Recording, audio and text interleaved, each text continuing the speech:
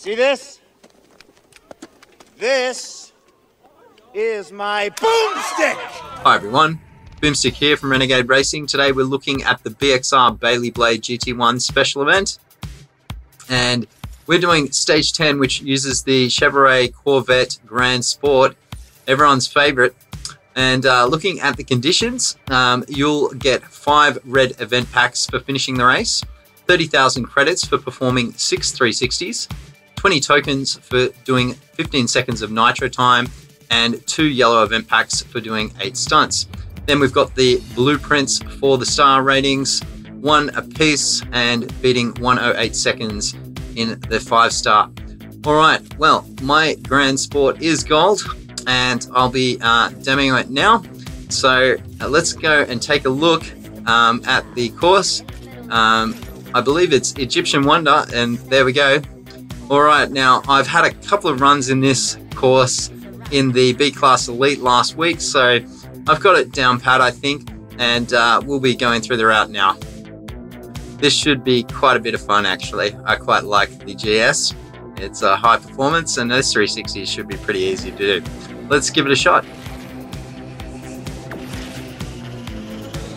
Right, I'm going to hold the nitro here and just move over to the left.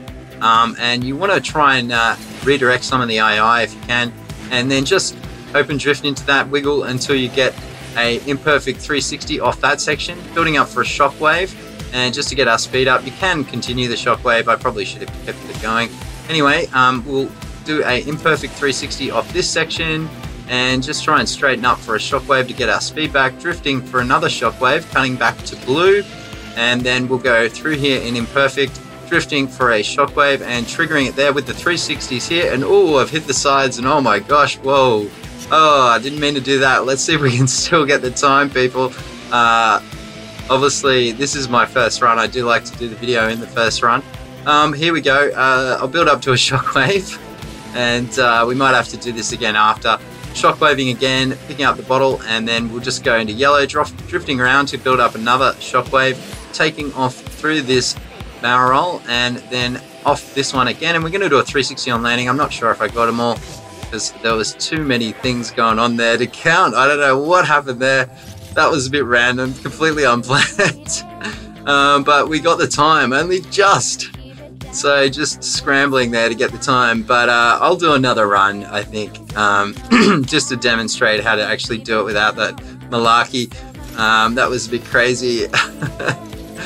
uh, hopefully some of you are laughing, and it just goes to show that even uh, the people that try to demonstrate all the stuff like myself still have crazy stuff happen from time to time, and uh, nothing but uh, trade coins in there. Um, I am a little bit disappointed with the drop rate of these the yellow packs. Actually, I, I, I, was hoping to do a car unlock here, but uh, looks like it's not going to happen. Anyway, let's get into it. I'll do it again, and uh, we'll demonstrate the run properly this time. Uh, hopefully, we won't do any crazy 360 madness in that little section there. Um, but uh, yeah, the Egyptian Wonder is quite a cool course. Actually, I really like it. I'm glad it's part of the uh, Elite Class B. Um, using obviously the Gelato or the Hussy in that one will be um, quite a challenge for everyone, but uh, lots of fun. Anyway, let's get back to it and we'll go through it properly. All right, here we go. Um, I'm going to try and redirect the AI, and the way I'm going to do that is just cut over at the beginning and then just point the car like I'm going down that way and then just move over and they've all smashed. Now that clears it up so you can do a decent drift here and we'll see if we can get the 360. I didn't quite get the shockwave, but we'll do it up here and we'll carry it through this time all the way through, holding drift on landing, triggering back into yellow, and then we'll go imperfect 360 here, and we managed to get three there.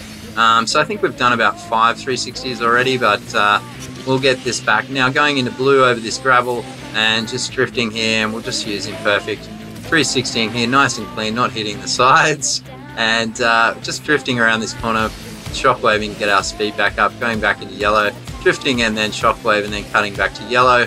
We'll do another drift here and just uh, trigger shockwave, picking up the bottle, going back into yellow, drift around again, shockwave, and we'll go off this barrel nice and low, people. You want to try and stay as low as you can, don't go too high, and we'll do our little 360 at the end.